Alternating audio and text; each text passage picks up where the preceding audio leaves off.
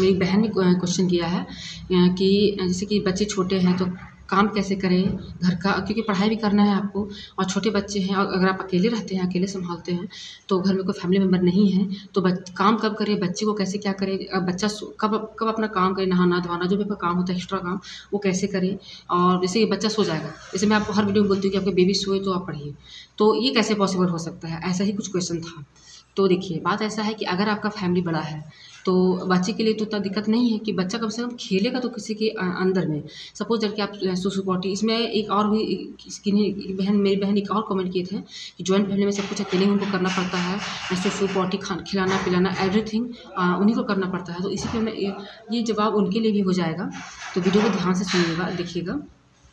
तो अगर आपके घर में फैमिली बड़े हैं तो सपोज़ अगर कोई आपका बच्चे का सुसु पॉटी खिलाना पिलाना नहीं करते हैं तो कम से कम ऐसा होता है कि हाँ वो घर में खेलते रहते हैं तो एक आपको ये टेंशन नहीं लगा रहता है कि बच्चा कहीं गिर जाएगा या बच्चे को देखना है तो एक इस चीज़ से आपको थोड़ा सा आपका माइंड रिलीफ रहता है। तो क्या होगा कि आप, जैसे कि वो जब वो खेल रहा है घर में और फैमिली में देख रहे हैं उनको तो आप अपने सारे कामों को निपटाइए और जब बच्चा सो जाए तो आप पढ़ने बैठ जाइए तो ये पॉसिबल हो सकता है। लेकिन अगर आप बिल्कुल अकेले हैं और बच्चे के बिना मतलब बच्चे को छोड़ के किसी को काम भी आप नहीं कर सकते हो जाता है कि अगर आप अकेले रहते हैं और बच्चे को छोड़ के कोई काम नहीं कर सकते हैं और जैसे बच्चा आपका सो जाता है तो आप पढ़िएगा या काम कीजिएगा ये आपके अंदर सवाल रहता है। तो इसका जवाब यही है, अब मैं कैसे करती हूँ? ठीक है तो इसका मैं जवाब देना चाहूँगी। तो जिस टाइम बेबी मेरी छोटी थी, उस टाइम तो मेरा कोई टाइम टेबल सेट नहीं था। मेरा कभी रात में ग्यारह बजे, बारह बजे मैं कपड़ा धोती थी, जैसे कपड़ा धोने का हो गया, काम करने का हो गया, हम लोग का खाना पीना सारा टाइम टेबल मतलब अस्त व्यस्त था। ठीक है? जैसे कि खाना हम लोग को दिन में कभी एक बजे हम लोग खाते थे, कभी रात में बारह बजे खाना खाना है। जैसे कि ऐसा होता था कि किसी तरह से झाड़ू लग गया और खाना बन गया, खाना खा लिए और पूजा पाठ हो गया, बस इतना ही होता था। अदर काम जैसे कि बर्तन धोना हो गया खाना खाने के बाद जो बर्तन हो गया, उसको मैं एज इट इज़ छोड़ देती थी, रहा कपड़ा का सवाल तो झाड़ू सॉरी कपड़ा, बर्तन, अगर जिस टाइम तक मेरे हस्बैंड रहते थे, उस टाइम तक मैं सारा काम, सारे काम कर लेती थी। लेकिन हाँ इससे क्या होता था कि मेरे बॉडी में बहुत थकान हो जाता था, क्योंकि मैं रेस्ट नहीं कर पाती थी। जल्दी जल्दी काम निपटाने का ये रहता था टेंशन रहता था।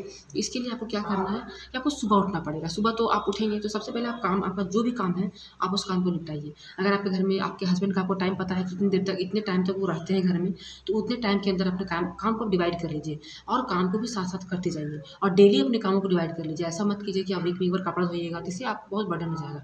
जितना कपड़ा जमा होता जाता है, आप उसको एक अलग मतलब एक बाल्टी या बकेट में रखिए तो जैसे कि लगे हाथ आपको करना होगा। अगर आप सोचेगा कि इस काम को मैं बाद में करूँगी तो वो वो बात, वो कभी नहीं हो सकता है। और हाँ बच्चे बच्चे सोने के बाद कैसे करेंगे? उस टाइम पढ़ना है, पढ़ेंगे या काम करेंगे? तो देखिए, बच्चे सोने के बाद तो आपको पढ़ना ही है। अगर देखिए, जो काम आपके लिए बहुत ज़्यादा प्रायोरिटी नहीं है, उस काम को आप छोड़ सकते हैं। ठीक है और जो काम बहुत अर्जेंटली है, आप उस काम को देख लीजिए कि कौन सा काम आपको बहुत, आपके लिए बहुत अर्जेंट है, आप उसको निपटाने की कोशिश कीजिए। और जो काम अर्जेंट नहीं है, वो आप जैसे कि जब आपके हस्बैंड आएँगे आप तब भी कर सकते हैं। तो इस तरह से मैं किया करती थी। ठीक है? और अब का जैसे कि अब है जैसे आप, आपका बच्चे जैसे मेरे बच्चे इतना बड़ा है वो चलता है दौड़ता है मतलब आपको ये नहीं है कि बिल्कुल सामने रखना है ऐसा नहीं है। वो अपने पे है। तो आप क्या कीजिए कुछ खाने वाला सामान रखती रखिए। जैसे मैं क्या करती हूँ जैसे कि वो आता है मुरही आता है मुरही हो गया बच्चे का जो सेव आता है ऐसे कुछ भी बच्चे का जो जो जो इसको बच्चे उठा उठा के खाएँ, इसमें उनका मतलब कॉन्सेंट्रेशन उसी में रहे, उनको खाना है। ठीक है, उसको क्या कीजिए कि बर्तन में, बड़ा सा थाली ले लीजिए और वहीं पर दे दीजिए और बच्चे को सामने बैठा दीजिए और अपना आपका जो भी काम है उसको कीजिए। मैं इसी तरह से करने का कोशिश करती हूँ। मैं क्या करती हूँ, जैसे मेरे बाथरूम में मुझे कपड़ा धोना है तो यहीं पे मैं हॉल में उसको कुछ देती हूँ खाने के लिए, कुछ बर्तन में साफ़, वहाँ पर आप उस एरिया को साफ़ कर दीजिए क्योंकि हाइजीन का भी आपको ख्याल रखना है। एरिया को साफ़ कर दीजिए अगर बच्चा बाई चांस गिरा भी देता है तो उतना आपको टेंशन नहीं होगा। डिटॉल पानी से जैसे फिनाइल से मत साफ़ कीजिएगा, डिटॉल से साफ़ कर दीजिएगा और बच्चा उसको खाने में लगा हो रहेगा तब तक आपको काम करना है। लेकिन यहाँ मैं एक रिक्वेस्ट करना चाहूँगी कि आप जो भी काम कीजिएगा, आप उसी काम पर ध्यान दीजिएगा। क्यों? ताकि उस काम को आप जल्दी कर सकिएगा। ऐसे नहीं कि आप कपड़ा धो रहे हैं और कुछ और सोच रहे हैं तो आपका एक घंटा कपड़ा धोने में ही निकल जाएगा। मैं कोई भी काम करती हूँ तो मैं पूरा फोकस उस काम में लगाती हूँ और मैं काम बहुत जल्दी भी कर लेती हूँ। ये मैं नहीं कर रही हूँ ये मेरे घर वाले लोग कहते हैं कि मैं जो काम है वो बहुत जल्दी जल्दी कर लेती हूँ। और अच्छे से करती हूँ। ठीक है? तो ये भी आपके पास एक थोड़ा सा हुनर होना चाहिए। थोड़ा सा अपने आप को चेंज कीजिए। ठीक है? तो जिस काम जिसमें आप जो काम कर रहे हैं उसी काम को कीजिए। मतलब बच्चे को खाने में इंगेज कीजिए ठीक है? जैसे कि कुछ भी हो गया जैसे निमकी हो गया आ, कुछ खाने वाला सूखा सामान आ गया बच्चे को दे दीजिए वो बच्चा बच्चा खाता रहेगा। और तब तक आप फटाफट फटाफट अपने कामों को कीजिए। इस तरह से भी आप कर सकते हैं। मैं इसी तरह से करती हूँ। दूसरा बात आपका ये है अगर बच्चा आपको खिलौना से खेलता है तो उसको खिलौने में इंगेज कीजिए। खिलौने में क्या जैसे डब्बा आता है उसका ढक्कन अलग रहेगा डब्बा अलग रहेगा तो ढक्कन को सारा आप खोल दीजिए वो उसको लगाने में बिज़ी रहेगा। तो इस तरह से कुछ उसको एक्टिविटी दे दीजिएगा तो बच्चे बिज़ी रहेंगे तो आप अपना काम कर सकते हैं। लेकिन इसके लिए क्या है कि आपका जो काम है, आपके माइंड में पहले क्लियर होना चाहिए कि आपको आज ये काम करना है और इतने देर लगेगा करने में। मतलब आपके माइंड में एक माइंड सेट होना चाहिए, ठीक है? ऐसा नहीं कि बच्चा अब सोचना है कि मुझे क्या करना है, ऐसे वैसे कुछ नहीं। आप पहले से डिसाइड कर लीजिए, जैसे कि अभी मैं वीडियो बना रही हूँ, अभी मैं इसको सुला दी हूँ। लेकिन अभी घर का सारा काम पड़ा हुआ है, सारा काम जैसे सारा बर्तन पड़ा हुआ है और जो कपड़ा है, जो मैंने धोया है, उसको साफ़ ये उसको तय करके रखना है तो और थोड़ा सा पोछा लगाना है घर मतलब घर को अच्छे से क्लीन करना है। ये मेरा काम है तो ये मेरे माइंड में लगा हुआ है। और इसको क्या है कि मैं जैसे वो सोई है तो मैं अभी नहीं करूँगी। मैं वीडियो बनाने के बाद मैं पढ़ाई करूँगी देन मैं उसी तरह से उठू उठेगी वो और उस, उसके आसपास कुछ भी खाना वाना जैसे रख दूँगी ताकि वो खाएगी। पानी बच्चे पानी के साथ भी इंगेज रहते हैं और अभी का मौसम उतना भी नहीं है। आप थोड़ा बहुत पानी के साथ बच्चे को पानी जैसे उसको बोतल में पानी दे दीजिए और एक गिलास दे दीजिए। बच्चा क्या करेगा बोतल को पानी में डालेगा पिएगा डालेगा पिएगा। इससे भी उसका थोड़ा सा टाइम उसमें आपका वो लेगा तो इसी तरह से कुछ मतलब मैं मैं अपने माइंड में कुछ कुछ सोच सोच के बच्चे को इंगेज करती हूँ। मुझे किसी ने कोई नहीं सिखाया है। ये नहीं कि मुझे बहुत लोग सिखाए नहीं। मैं जितना भी कर रही हूँ बच्चे के साथ या अपने लाइफ के साथ, ये मैं खुद से कर रही हूँ। मैं खुद पे एक्सपेरिमेंट कर रही हूँ, ठीक है? जिसके कारण है कि मैं कर पा रही हूँ।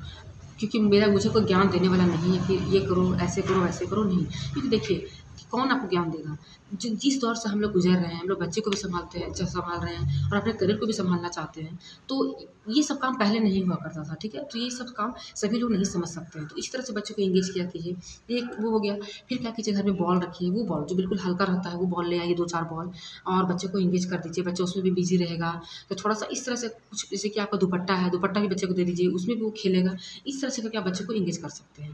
हो गया यहाँ पे क्लियर अगर आपका बच्चा बहुत छोटा है तो आप उसको बैठा के खाने वाला सामान दे सकते हैं, खेलने वाला सामान दे सकते हैं, वो कर सकते हैं। लेकिन कोशिश कीजिए कि अगर आपका बहुत बच्चा बहुत छोटा है तो आप, जैसे कि आपके घर में जो भी फैमिली मेंबर है, सबके हस्बैंड है, वो जब, उनका जो भी, जब भी टाइमिंग होगा आने का उसी टाइम आपको वो काम निपटा लेना है, या उनका टाइम है जाने का, उसके पहले आपको सारा काम निपटा लेना है। तो इस तरह से आप कर सकते हैं। और अपने काम को, सबसे पहला बात कि अगर आपके किचन में बहुत सारे बर्तन फैल गए हैं तो सबसे पहले आप देखिए कि कौन सा बर्तन बहुत रिक्वायरमेंट है, कौन सा बर्तन की रिक्वायरमेंट नहीं है। नहीं है उस बर्तन को आप, बर्तन को आप साइड कर दीजिए।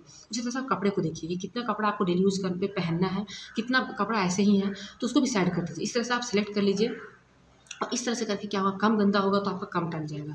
तो इस तरह से करके मैं करती हूँ, पर्सनली मैं करती हूँ। तो इसका एक ही सॉल्यूशन है, इसके अलावा कोई अदर सॉल्यूशन नहीं है। ठीक है? क्योंकि देखिए आप किसको ले आइएगा? कि आपका हेल्प करें? आप आने के बाद भी कोई हेल्प नहीं करता है ठीक है? इस बात को हमेशा याद रखिएगा कि जो भी करना है, आपको खुद से ही करना है। बच्चा और बच्चे को भी आपको संभालना होगा, घर का काम भी करना होगा। और अगर आप करियर के बारे में सोच रहे हैं तो भी आप ही को करना होगा, ठीक है? क्योंकि ये आपका सोच है।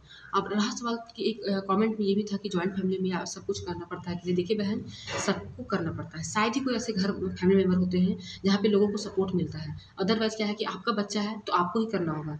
ये थॉट सबके मन में रहता है। लोग बैठे रहेंगे। अगर बच्चा आपका सुसु किया है पॉटी किया है, आप कुछ भी काम कर रहे हैं, आप ही को आगे करना पड़ेगा, ये सबके साथ होता है। ऐसा नहीं है कि हम लोग के साथ नहीं होता है, सबके साथ होता है। तो इस बात से आपको ये नहीं सोचना है कि अब आप कुछ नहीं कर पाइएगा देखिए, जब तक बच्चा छोटा है, तब तक आपको परेशानी है। बच्चा आपका बड़ा हो जाएगा, वो समझदार हो जाएगा, वो बच्चों के साथ इंगेज होगा खेलने में, या हो सके स्कूल जाने का, तब तो आप फ्री रहिएगा।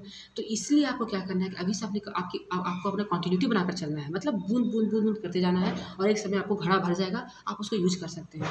मेरा बस यही मकसद है आपको बोलने का कि आपको पढ़ना क्यों है क्योंकि मैं चाहती हूँ कि बच्चा तो हमेशा बच्चा नहीं रहेगा, बच्चा आगे जाके बड़ा होगा, वो स्कूल जाएगा तो आपको पछतावा होगा उस समय आपको खालीपन का पछतावा होगा कि अब मैं क्या करूँ? अब तो मैं बिल्कुल फ्री हूँ, काम भी हो गया, सारा कपड़ा भी धो लिया आपने, सारा, अब क्या मैं करूँ? तो उस समय आपका क्या है कि आपका जो ये तैयारी है थोड़ा थोड़ा करके उस समय आपको काम आएगा और आप अपने हाँ अपने आप पे सेल्फ डिपेंड हो जाइएगा, ठीक है? तो बस मेरा यही मकसद रहता है, ये मेरी सोच है, जो मैं आप तक कन्वर्ट करती हूँ।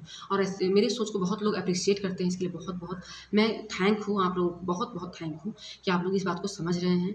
तो चलिए मिलूँगी नए वीडियो के साथ, ऐसे ही इंफॉर्मेटिव वीडियो के साथ मोटिवेटिव वीडियो के साथ अब तक लिए बाय